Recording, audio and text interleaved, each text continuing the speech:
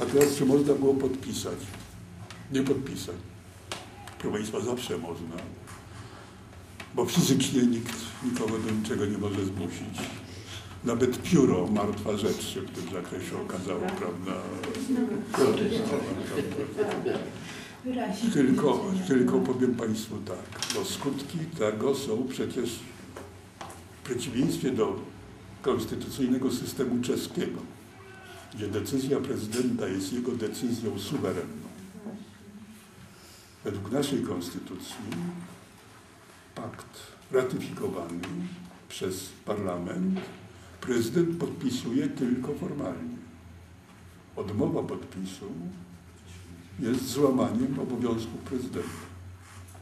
Czyli za, od, ślad za odmową powinno pójść, praktycznie biorąc, jeżeli on uważa, że to jest taka waga sprawy, że no, nie może. Złożenie rezygnacji.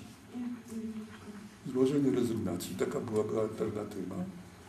Bądź też yy, ja nie podpisuję, no ale to jest, to wiadomo, że wtedy parlament podejmuje, że tak powiem, kroki zmierzające, no bo to jest równoznaczne z odmową prezydenta wykonywania swoich obowiązków i uniemożliwienia pełnienia tej funkcji, prawda, przez głowę państwa. Wtedy to pociąga za sobą odpowiednie konsekwencje konstytucyjne, mm, do czego uprawniony jest wtedy parlament. Więc nie podpisać w tych warunkach nie było można, można było tylko, tak powiem, odejść z urzędu. To przyznają Państwo, nie byłoby rozwiązaniem może komfortowym indywidualnie, ale nie byłoby rozwiązaniem z punktu widzenia państwowego. No, w momencie, kiedy był ten podpis, można było się zastanawiać, jak będzie z Czechami. Jak będzie, bo, bo, bo działanie Klausa nie było, że tak powiem, takim elementem wyłącznie, powiedziałbym, aktem, aktem jakby to powiedzieć, polityczno-moralnym. To był akt polityczny bardzo dobrze wyliczony. On, krótko mówiąc, postawił sprawę bardzo ważną dla Czechów. Czym wprawdzie nie miał poparcia parlamentu, ale miał poparcie według badań opinii 3 czwarte Czechów.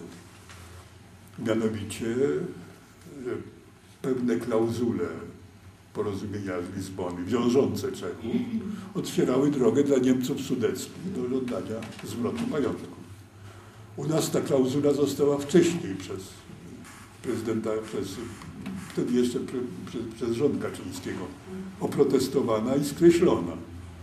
Ale Czesi ją niestety mieli. I, i, i Klaus w ogóle że powiedział, że warunek, jeżeli on ma podpisać, to jest cofnięcie tej klauzuli. Proszę Państwa, tak nawiasem mówiąc, wycofanie się z tego i, i pozwolenie Czechom na, że tak powiem, oczywiście złamaniem wszelkich procedur w zakresie umowy, która została podpisana, ratyfikowana i wydawało się, że zmiana po tym jest już w tym zakresie niemożliwa. W związku z tym, Pan Państwo otwarcie, że liczono, była taka, była taka, takie możliwości, to z tym się liczono, że rozpocznie się teraz próba jakiegoś, że tak powiem, jakiejś innej innym trybie skompensowania Czechom tego zagrożenia.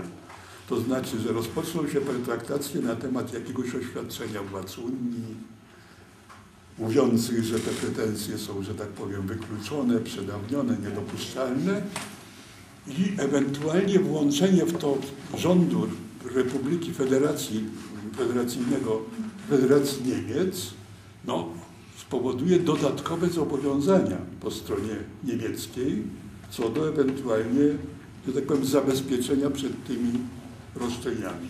Otóż gdyby rzeczywiście tak, ta, taki, taka procedura była uruchomiona i Czesi byliby, że tak powiem, beneficjentami tej strony, to to otwierało drogę dla nas, żeby wejść również w ten, że tak powiem, układ porozumienia, bo my mamy analogiczną sytuację.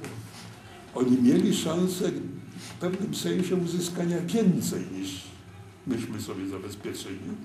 gdyby po stronie, że tak powiem, czynników Unii Europejskiej nie złamano, prawdę powiedziawszy, wszelkich procedur dotyczących no, ważności i możliwości zmiany umów międzynarodowych. Ponieważ ta umowa była już przez, przyjęta przez 25 państw w pewnym układzie, ratyfikowana. Była tylko kwestia podpisu 20, przez 24, 20, nie 20, przepraszam, 27. 27 czy 26, 27 państwo miało podpisać. No i w tym zakresie dokonanie zmiany, którą do, powinni, powinna być zgoda, że tak powiem, parlamentów wszystkich państw, prawda? Czyli powinna się od początku rozpocząć procedura. Ale czy prezydent Czech To zostało, to zostało całkowicie zignorowane.